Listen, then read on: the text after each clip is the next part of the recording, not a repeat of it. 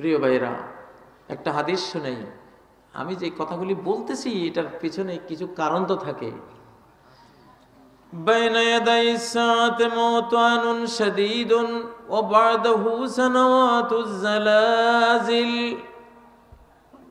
আমাদের আমরা শেষ জামানার মানুষ পৃথিবীর লণ্ডভণ্ড হওয়ার সময় এখন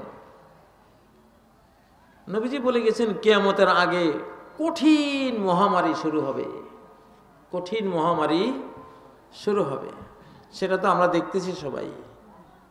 কঠিন মহামারী চলছে এটা সবাই জানে। মহামারীর পরে আরেকটা গজব আসবে।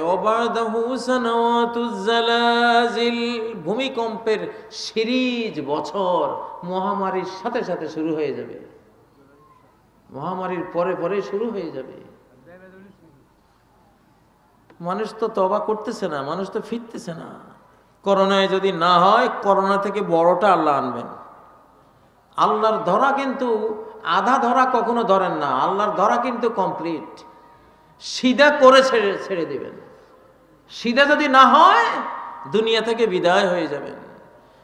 ভিতরে ভিতরে এমন মরণ শুরু হয়েছে, মহামারী শুরু হয়েছে। আমি আমার বাড়িতে গেলাম, লক্ষ্মীপুর জেলা, আমার নিজ বাড়িতে গেলাম। আমাদের পূর্বের দাদাদের সন্তানরা আমাদের এলাকায় একসাথে এক বাড়িতেই থাকে। এক গ্রামের সমান এক একটা বাড়ি।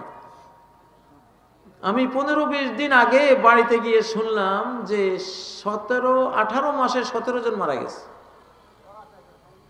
তো আঠারো মাসে সতেরো জনের রিপোর্ট পাওয়ার পরে আমার এক চাচাতো ভাই তখন ক্যান্সারে আক্রান্ত। তারে দেখে আসলাম। ঢাকা আসার পরে এক, দুই সপ্তাহের মধ্যে শুনলাম, সেও চলে গেছে। মানে আঠারো মাসে আঠারো জন। আঠারো মাসে আঠারো জন। আপনি, আমার শিশুকালে আমি কখনো মাইকে এত মৃত্যুর খবর প্রচার আমি শুনি নাই। এত ঘন ঘন মানুষের মৃত্যুর খবর কখনো শুনি নাই। কিন্তু ইদানিং এখন একটা সময় আমরা পার করছি। একটা এলাকাতেই কদিন পরে পরে শোক সংবাদ। আপনারা শুনতেছেন তো? শুনতে পাচ্ছেন না? এটা কেয়ামতের আলামত। কেয়ামতের আগে গণহারে মৃত্যুর মহামারী আরম্ভ হবে এবং তারপরে শুরু হবে ভূমিকম্পের সিরিজ আক্রমণ। সেটা আসতেছে। সেটা সামনে আসতেছে ভাইরা তো এই জন্য আল্লাহ তালা যেটুকু সুযোগ আমাদেরকে দিচ্ছেন, এই সুযোগটা আমাদের কাজে লাগাইতে হবে কিনা? অবশ্যই কাজে লাগাতে হবে। একজন সাহাবি নবীজিকে প্রশ্ন করলেন মানে কি সন্ন্যাস হে আল্লাহ রাসূল, একজন মানুষের কথা আমাকে বলেন যে সবচেয়ে চালাক, ইন্টেলিজেন্ট, সবচেয়ে বড় বুদ্ধিমান, জ্ঞানী। সেই মানুষটা কে? নবী সাল্লা সাল্লাম বললেন আকসার হুমলিল মৌতে জিকর ও আহসান হুম লিমা বারদাহু ইস্তিদাদা। যে মানুষটি মৃত্যুকে যত বেশি মনে করে, সে মানুষটি তত বড় বুদ্ধিমান।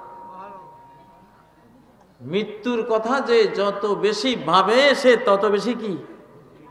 বুদ্ধিমান। তত বেশি জ্ঞানী, মেধাবী ইন্টেলিজেন্ট পার্সন সে।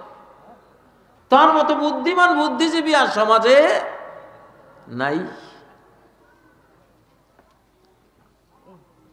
মানুষের পরিণতি পরিণতি কি হয়? পরিণতির দিকে যে খেয়াল রাখে, সেই বুদ্ধিমান। একটা কলেজে একটা ছেলে ভর্তি হলো। দু বছর পরে এই ছেলেটি ফার্স্ট ক্লাস ফার্স্ট হলো।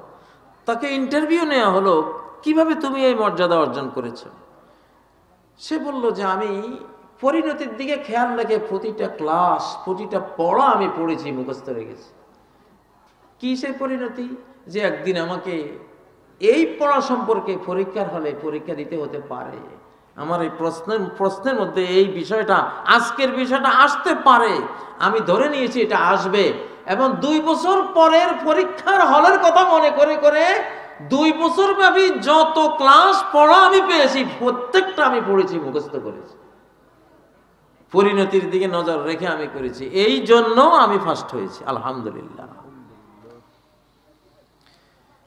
এখনকার বিজ্ঞান গবেষণায় বিজ্ঞানীরাও বলে, মানুষ মৃত্যুকে কল্পনা করে এন্ড অফ লাইফ আমার জীবনের শেষ, হয়তো এটা হতে পারে। এইটা কল্পনা করে যে কাজ মানুষ করে, এর চেয়ে সুন্দর কাজ পৃথিবীতে আর হয় না। ধরুন, ডাকাতরা একজনকে ধরলো,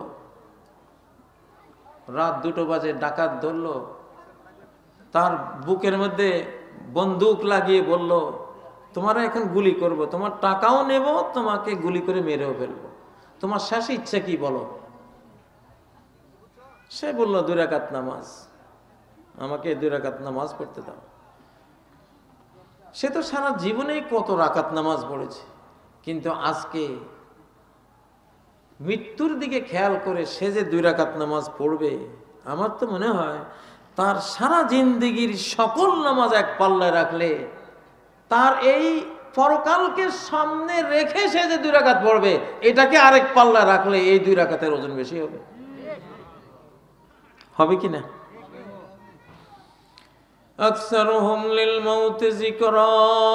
মৃত্যুর কথা, মৃত্যু চতুর্দিকে হানা দিচ্ছে আমাদেরকে। মৃত্যু আরও আসতেছে। মৃত্যু আরও আসতেছে। আমি দেখতেছি শুধু মৃত্যু আর মৃত্যু ঘেরাও করে নিচ্ছে। চতুর্দিক থেকে মৃত্যুর ঘেরাওর মধ্যে পড়ে গেছি। ট্রাম্প, উনি তো অ্যাটম বোম সহ বি ফিফটি টু বোমারু বিমান আরও যত ভয়ঙ্কর বিমান সব পাঠাচ্ছে। ভারত, পাকিস্তান তো লেগে আছেই, তুরস্ক, গ্রিক তো আছেই, এদিকে লিবিয়ায় সিরিয়ায় আজারবাইজানে, ইরাকে, ফিলিস্তিনে আছে না নাই? আমাদের চার পাশে শুধু যুদ্ধের অ্যাটমিক অ্যাটমিক যুদ্ধে নিউক্লিয়ার ওয়ারের যত আয়োজন চলছে, একটা বোম মারলে কয়েক কোটি মানুষ নিউক্লিয়ার যুদ্ধ শুরু হয়ে গেলে কয়েকশো কোটি মানুষ পৃথিবী থেকে চলে যাবে। যাবে কিনা সেই পরিবেশ রেডি হচ্ছে কিন্তু। অতএব এই সময়টাতে পরকালের দিকে খেয়াল রেখে আমাদের চলা উচিত। প্রত্যেককেই আখারাতের জন্য রেডি থাকা উচিত এবং শিশুদেরকে সেই মর্মে গড়া উচিত। শিশুরা যদি পরকালের সাকসেসের জন্য পড়ালেখা করে এর চেয়ে উত্তম পড়ালেখা আর কোনো পড়ালেখা হতে পারে না।